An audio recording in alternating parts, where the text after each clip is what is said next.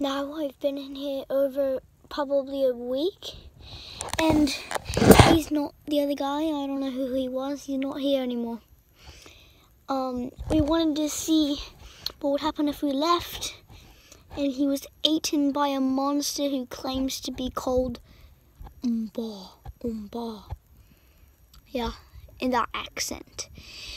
Mm hmm Yeah, he was eaten by him. I don't want to leave now.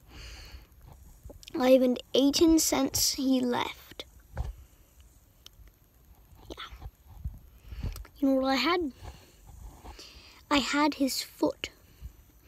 Because he ate everything but his foot. So I ate his foot. Please help. I've already eaten the floor. I'm eating wood right now. That's all I have eat. Next thing I'll be eating myself. Help. Help. I'm sorry.